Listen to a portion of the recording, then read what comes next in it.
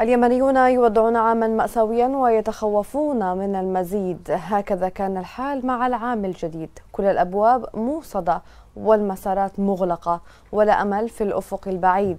فالمأزق حصاد العام والمآل الجامع لكل أطراف الصراع.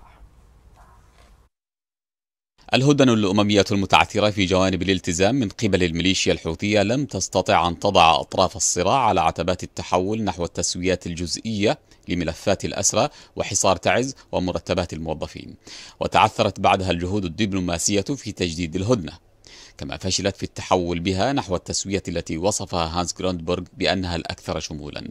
ميليشيا الإرهاب الحوثية وضعتها الهدنة في مأزق وجودها الوظيفي كأداة تنفيذية لأطماع إيران الطائفية وظهر جليا خلال أشهر التوقف الجزئي عن العمليات القتالية. أنها مشروع بعيد عن الوطنية اليمنية ظاهره الخمينية وباطنه البطش والقمع والتنكيل والنهب المنظم للموارد العامة والأملاك الخاصة. المأزق الأكبر الذي تواجهه الميليشيا يكمن في تعقيدات المعادلة التي أرادتها مقايضة سهلة بين وقف عملياتها الإرهابية في الداخل ونحو الخارج وبين تمويل عناصرها المدنية والمسلحة تحت بند مرتبات الموظفين في كل قطاعات ووحدات الدولة اليمنية. لكن حالة العجز الحوثي عن المغامرة بأي توجه عسكري أفشل ابتزازها للحكومة والإقليم ومعهما المجتمع الدولي. الحكومة وعبر رئاسة مجلس القيادة اعترفت بتعقيدات المأزق الذي تواجهه نتيجة توقف تصدير النفط والغاز بعد العمليات الإرهابية التي استهدفت موانئ التصدير في شبوة وحضرموت وهو ما جعل الحكومة عاجزة عن الوفاء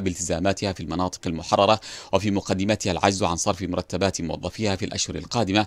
لذلك يسعى مجلس القيادة الرئاسي حسب مصادر مطلعة إلى تمويل من تحالف دعم الشرعية للميزانية العامة بالكامل للعام 2023 المعطيات الاقتصادية تشير إلى أن الاقتصاد عطل مسارات الحرب وأوقف أطراف الصراع المدمر عند مأزق البحث عن تمويل النفقات اللازمة لتبرير العجز العسكري عن المغامرات الخطرة. ذلك أن الوضع الاقتصادي المأزوم يضع أطراف الصراع في مواجهة المتطلبات الحياتية لملايين اليمنيين الذين يهددهم خطر المجاعة وما يترتب عليها من أمراض وتنذر به فوضى الاحتجاج الشعبي الذي لن يموت على فراش البطون الخاوية. ومع المأزق الاقتصادي تقف الجهود الدبلوماسية عاجزة عن مقاربة الانفراج في المسار السياسي. ذلك أن الأمم المتحدة ومعها إدارة بايدن لا تملك بدائل نظرية لمواجهة الشروط التعجيزية التي وضعتها الميليشيا أمام خطار البحث عن هدنة موسعة خصوصا مع وقف مسار التفاوض بين الميليشيا وقيادة تحالف دعم الشرعية بعد فشل الزيارة الأخيرة لوفد سلطنة عمان إلى صنعاء. وإذا كان الاقتصاد يعطل مسار الحرب فإن السياسة لا تفتح أبواب التسويات. الأمر الذي يراه مراقبون انزلاقا بالوضع المأساوي نحو مخاطر المجاعة في ظل تعقيدات عالمية في جوانب الأمن الغذائي فرضتها الحرب في أوكرانيا. الاسم والصفة.